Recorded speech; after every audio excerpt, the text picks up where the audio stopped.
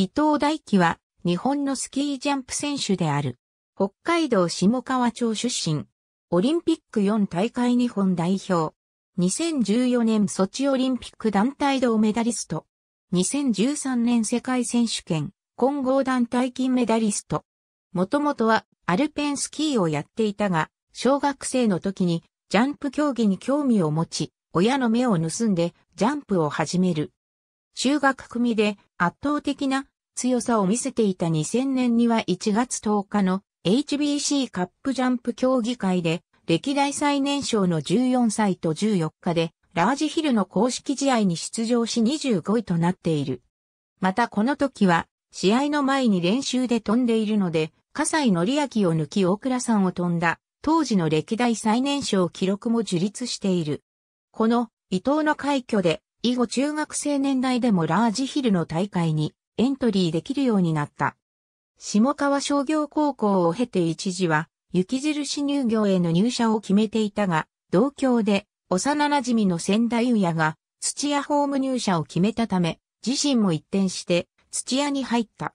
2005年1月6日のオーストリアビショフスホーフェンでのジャンプ週間最終戦でこの台のバッケンレコードとなる143メートルを飛び初めて W 杯の表彰台に立った。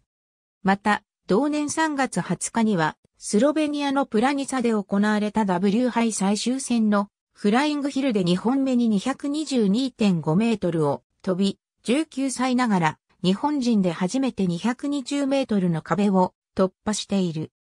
豪快なジャンプスタイルだけでなく、底抜けに明るくいつも笑顔でいることや必要以上にユーモアとウィットに富んだ発言を連発することなどからも原田正彦の後継者として期待されている。また、国内大会の表彰式などでは、撮影タイムで表彰台から降りて、自分の携帯電話で他の表彰選手を撮影して、観客の笑いを取ることが時折見られる。2008年2月に結婚し新居を構えたが、その新居を手掛けたのは2006年シーズン限りで、現役引退し、土屋ホームの社業に専念していた仙台優也であった。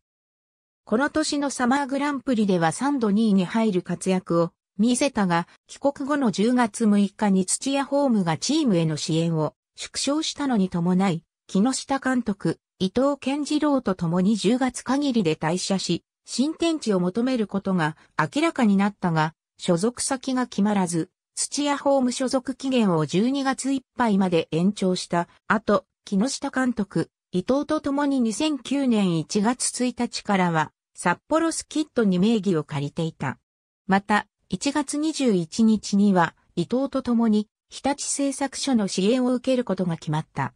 2月6日には、木下監督、伊藤健次郎と共に、携帯ショッピングサイトを手掛けるモバイルコンビニの支援を受けることが発表された。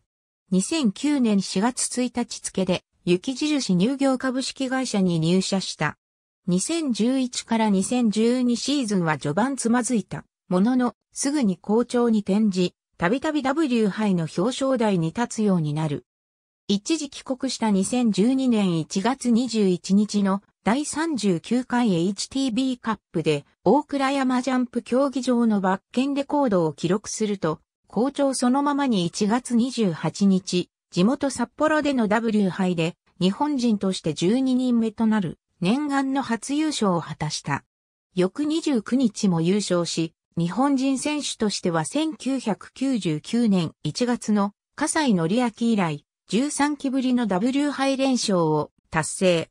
また、2月26日には、ビケルスンでのスキーフライング世界選手権団体戦の1本目で240.0メートルの日本人歴代最長不倒を達成した。3月4日のフィンランドラハティ大会では、国外での W 杯初優勝を果たし、続く3月8日のノルウェートロンハイム大会で4勝目。2011から2012シーズン合計で9度、表彰台に立ち、シーズン個人総合成績で自己最高の4位に入った。日本人選手が個人総合成績で10位以内に入るのは2003から2004シーズン8位の笠井則明以来である。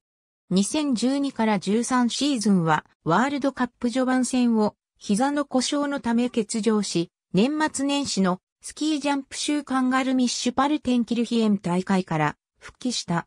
しばらくは30位台が続き、ポイントを獲得できなかったが、1月19日の札幌大会と2月16日のオーベルストドルフ大会で6位に入り復調。直後にイタリアのバルディフィエンメで開催された世界選手権では伊藤由紀、高梨沙羅、竹内拓と共に出場した男女混合団体で金メダルを獲得。世界選手権後のワールドカップで2度表彰台を獲得した。2013から14シーズンは12月8日のリレハンメル大会で3位。ソチオリンピックの日本代表にも選出されたが、オリンピック直前のワールドカップで左膝を痛めたため、ノーマルヒルは欠場し、ラージヒル1本に絞り入賞まで、あと1歩に迫る9位。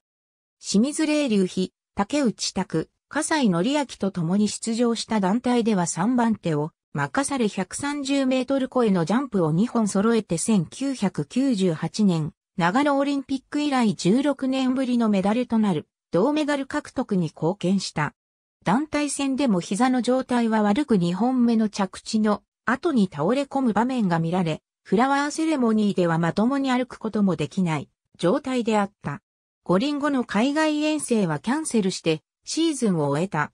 2014から15シーズンは開幕より W 杯メンバーに復帰。ソチ五輪と同じメンバーと挑んだ団体第一戦で2位。個人戦も11月28日の第2戦で2シーズンぶりの2位でシーズン初表彰台を獲得した。その他に2大会で4位を記録した。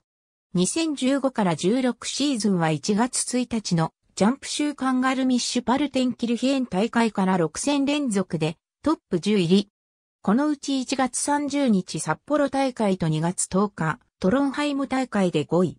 1月31日の札幌大会では1回目で首位に立ったが2回目で順位を落として7位。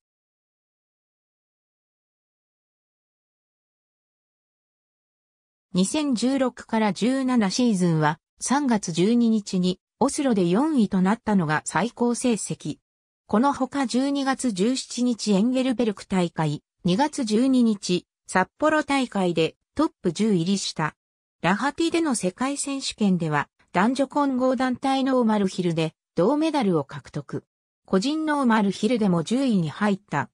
2017から18シーズンも W 杯メンバー入りしたが、11月19日の第1戦、ビスワ大会で転倒し、右肩を負傷したため帰国した。この怪我の影響もありこの年の W 杯出場は2試合に、泊まり総合63位に終わった。ピョンチャン五輪は、個人ノーマルヒル20位、団体ラージヒル6位だった。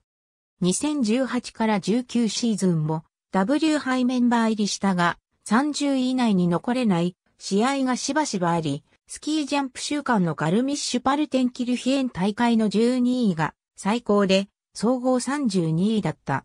世界選手権では団体ラージヒルで銅メダルを獲得した。2019から20シーズンはサマーグランプリ白馬大会参戦の後、W 杯開幕戦のビスワ大会及びスキージャンプ週間のガルミッシュパルテンキルヒエン大会で5位に入るなどし、総合24位でシーズンを終えた。2020から21シーズンはコロナ禍のため10月以降の開催となったサマージャンプ国内戦は7戦中2位3回、3位2回の成績でワールドカップへ向かった。ワールドカップではルカ大会1日目の21位が今季最高と調子が上がらず、エンゲルベルク大会後に一度帰国。HBC 杯3位入賞の後再度ワールドカップに参戦したが、腰を痛めて帰国、総合55位でシーズンを終えた。フライング世界選手権、ジュニア世界選手権。ありがとうございます。